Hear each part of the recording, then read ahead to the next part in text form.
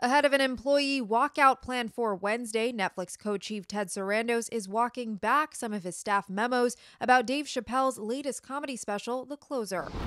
Speaking with the Hollywood Reporter by phone, Sarandos noted that he, quote, screwed up and should have acknowledged that his employees were in pain by the streaming giant's decision to air the special. However, when asked if his stance had changed since releasing the memos, he said, no, my stance hasn't changed. Later noting, you've got audiences with various tastes, various sensibilities, various beliefs. You really can't please everybody, or the content would be pretty dull. And as for the company's planned walkout, employees are asking for steps such as adding a disclaimer to the beginning of the special. But Sarandos says that won't be happening, asserting that Chappelle's special was in line with the company's stance toward, quote, artistic expression. The content is age restricted already for language, and Dave himself gave a very explicit warning at the beginning of the show, so I don't think it would be appropriate in this case. For more details on this conversation, head to the article on THR.com. And for the latest entertainment news and updates, keep watching the Hollywood Reporter News.